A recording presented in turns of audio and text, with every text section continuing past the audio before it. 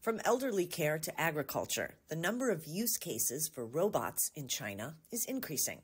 In East China's Hangzhou city, robots are being used on tea plantations to do things like recognize and select tea leaves, a normally laborious task.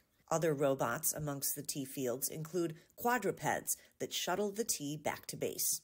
And in the elderly care sector, researchers from Hebei University of Technology have developed a robot that can stretch its arms out to securely lift someone from a bed. For example, the two arms can carry a total load of 90 kilograms. Each joint of the robot can bend and rotate like a human being, achieving two degrees of freedom. Our next step is to better integrate touch and vision, enabling better interaction with people while ensuring safety.